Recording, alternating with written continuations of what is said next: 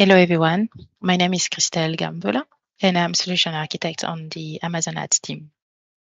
Today, I will guide you through accessing the Amazon Ads API in a live demo. Are you ready? Amazon Ads API operates using RESTful API, making HTTPS requests using operations like GET or POST, which are most commonly used. In the context of advertising, Amazon Ads API gives the ability to manage and report on advertising activity on Amazon. For example, you can retrieve performance insight of running campaigns or analyze past campaign performance to optimize bid and budget changes via API.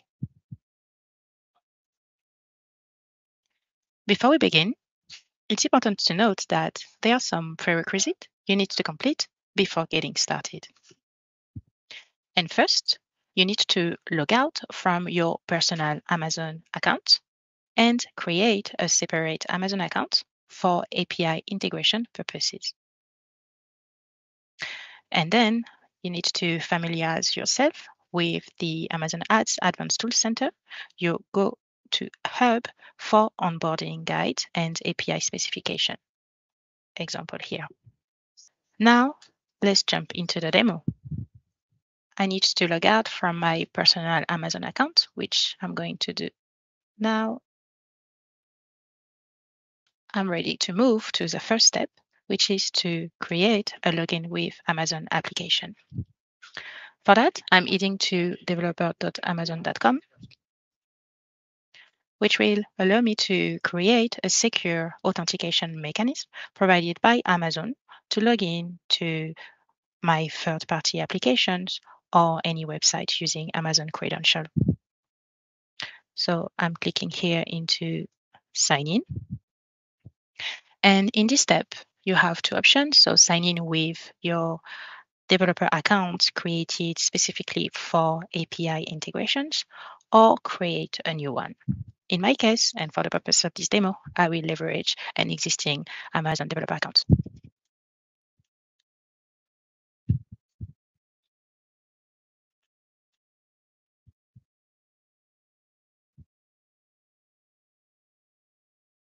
Great, I'm in. Now we are going to set up our security profile by going to button on the up right side, going to setting, clicking into security profile. And here you will see if you are leveraging an existing developer account, if security profile have been created in the past. For the purpose of this demo, I will create a new security profile. For that, I'm providing a name.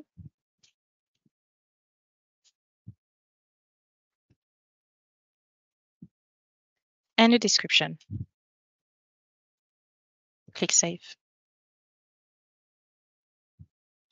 Once it is done, you can see that your security profile have been created. And you can move to web settings. And here you will notice that your client ID has been created as well and your client secret.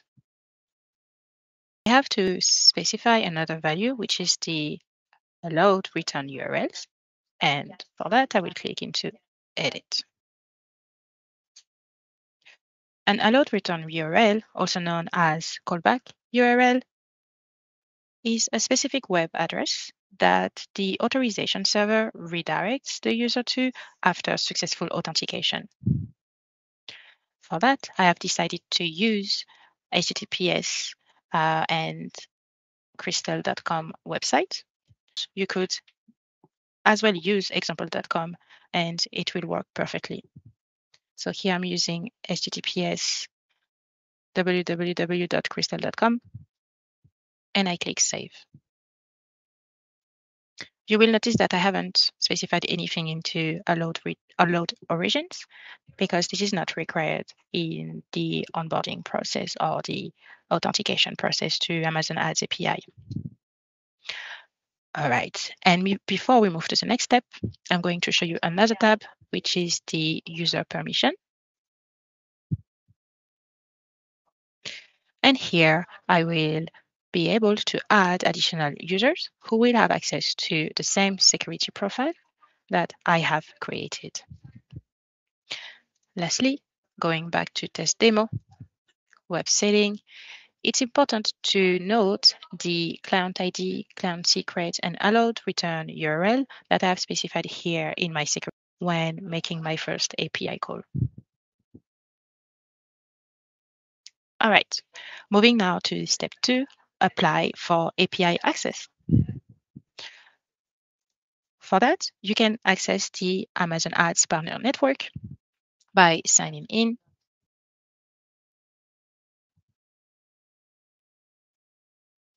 And here you have two options. Either you already have access to the Partner Network account. In my case, I do have access to the Partner Network account.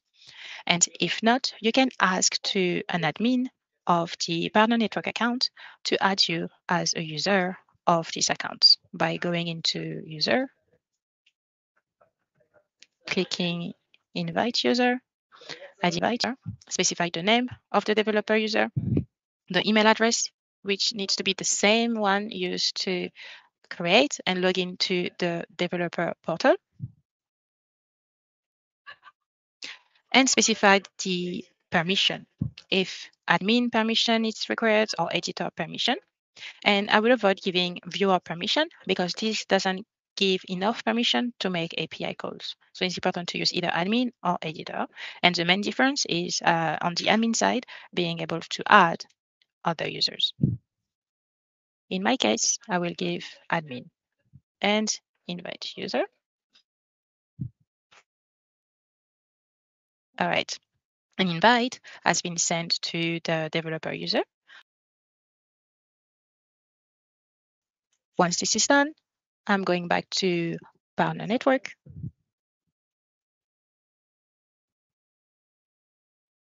Go to API application.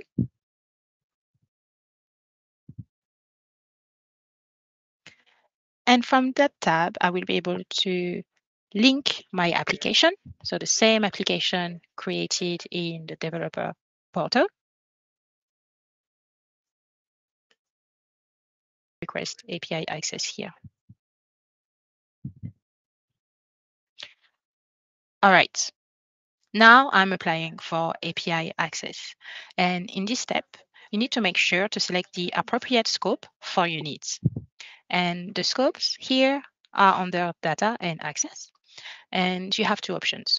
The advertising scope, which allow you to manage advertising campaign, creative and receive advertising reporting metrics. This covers sponsor ads, Amazon DSP, as well as Amazon Marketing Cloud reporting use cases. The second option is data provider, which allow your application to publish audience segments and push segment from Amazon Marketing Cloud into Amazon DSP. Here, for the purpose of this demo, I will select advertising. And then I have to answer two questions, as you can see here. And I need to ensure to go through the Amazon API license agreement, so to read it carefully as well as the data pro protection policies before submitting the review.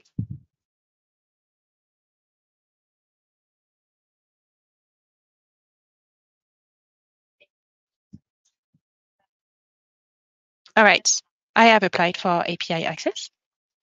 And as mentioned here, the SLA is 72 hours to review that API access and receive a response.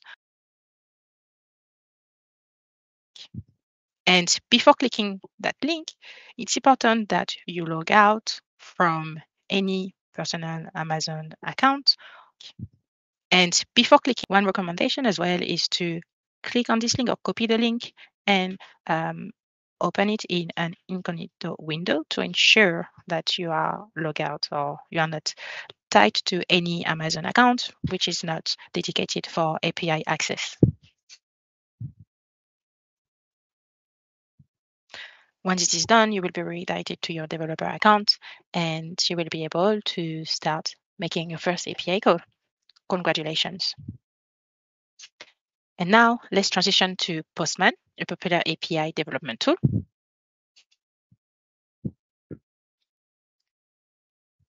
Postman simplifies API development and testing, making it a good choice for the purpose of this demo. However, remember that there are other tools available for API integrations and Postman is not a prerequisite. All right, from Postman, I have preset two type of operation that I want to demo today. The first one, which is create Amazon ad test account, and the second one, which is get profile. From Postman, I'm going to the authorization tab, click uh, 2.0, which is the authorization protocol used by Amazon Ads API. In the authorization tab, I will fill the following fields, starting with header here and type bearer. I will move down into callback URL.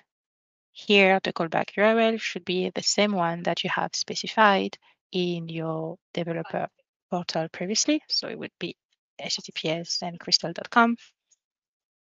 The auth URL the access token URL. Note that this URL can be retrieved from the API documentation. Furthermore, it's important to note that these URL are regional and must be selected based on the location of your advertising account. For instance, if your accounts are in North America, you will need to use the corresponding URL for that region.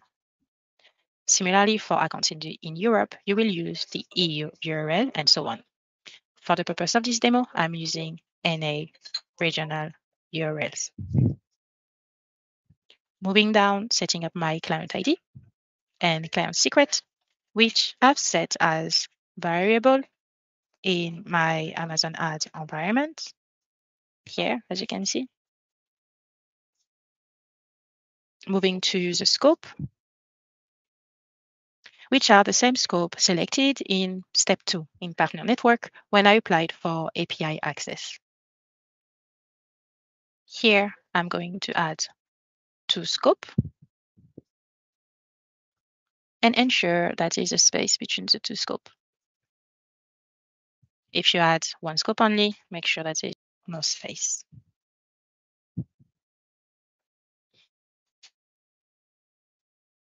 All right, and I will click into get new access token. As you can see, a pop-up has been generated and here I need to log in or add the credential, same one than my developer account. The email is correct, just adding the password, click sign in, uh, log, log in with Amazon application, ask me to allow the connection, which I'm doing. And then I will proceed and use the access token in this request.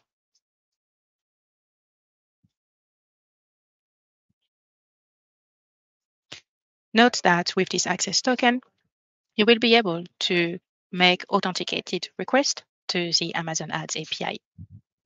And the first API call we will make is the test account API.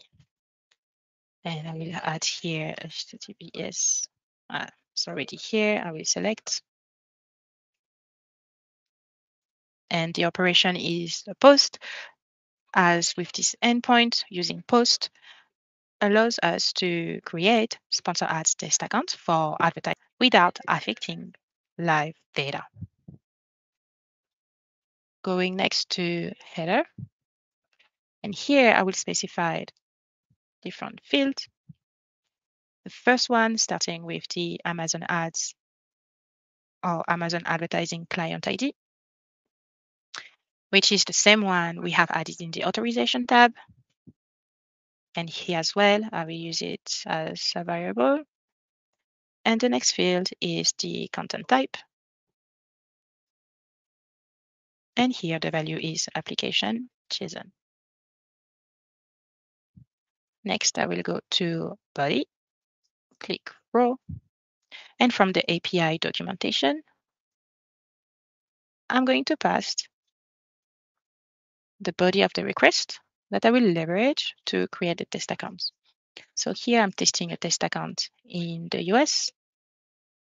I have this vendor code that could be a real vendor code or any vendor code. And I'm specifying the account type, which is vendor. Next, I click send. And here I'm having a successful call 200. And in the response, I can see the request ID, which corresponds to the creation of that test account. You can leverage this request ID to check the status of the creation of your test account by changing into a get operation, removing the body, and here specify the request ID in the parameter.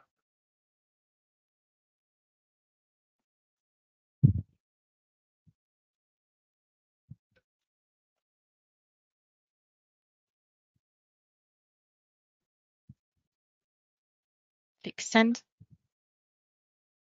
And I can see here that my test account has been created successfully and I can retrieve the ID of my test account, the account type, and the country code where it has been created. Note that once your test account is created, you should be able to log in into the ad console using your developer credential and access to the same account via the UI.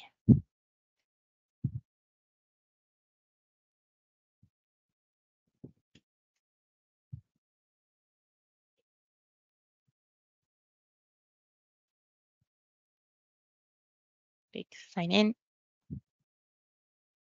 And I'm able to access my test accounts. Here is the one that I created in the UK, but if I want to access the one in the United States, I can also select the test account created in the United States. Another API call that I want to show you in this demo is the get profile call. That I will type HTTPS. Ah. In terms of authorization, so I leverage the same authorization tab, same credential, and here I can click refresh to obtain the same access token that I've created in the previous API call. The header, I need to ensure that I'm passing as well the client ID.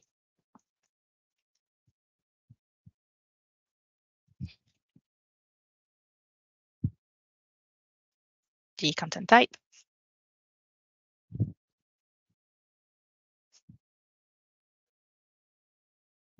Ensure there's nothing in the body, and then click send. And here I'm also having a successful call, as you can see here, and I can see the different test accounts that I've created previously. Note that this endpoint, the get profile, retrieve all the profiles information from the advertising entities you have access to. And in order to have access to production advertising entities, the admin of the advertising uh, the advertising entity. So here I'm in the ad console. We'll have to go to the ad console, click the gear, go into account, and invite the developer user into the advertising account. Developer user, the email address. You can provide admin or editor. In my case, I will provide admin and invite user. The invitation will be sent. We can check the status here if the user has responded to the invitation and leverage or edit permission once it has access to or accepted the invitation.